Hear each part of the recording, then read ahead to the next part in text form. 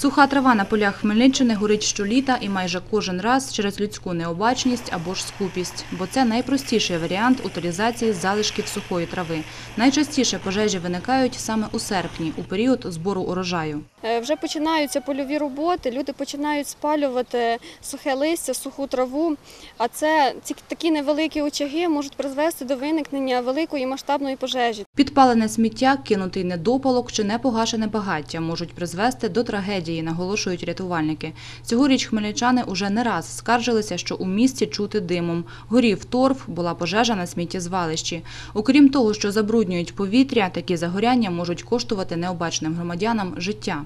Це може призвести до загоряння домоволодінь, перекидання е, полум'я на сусідні будівлі, е, тобто може призвести до значних матеріальних втрат. Щоби лиха не сталося, рятувальники влаштували рейд у мікрорайоні Лезневе обласного центру. Саме там цього тижня горів сухостій. У результаті вогонь перекинувся на торфовище. Жителі району переконують, що на своїх городах нічого не палять.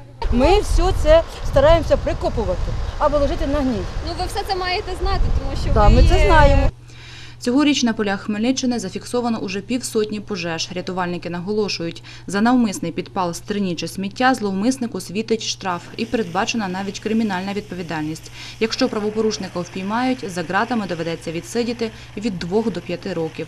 Вікторія Паламар, Віктор Кривий для інформаційного випуску.